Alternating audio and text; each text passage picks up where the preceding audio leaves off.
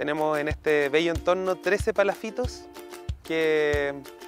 reciben turistas durante todo el año que vienen a conocer Chiloé y, sobre todo a vivir en, la experiencia de alojarse en un palafito que es la construcción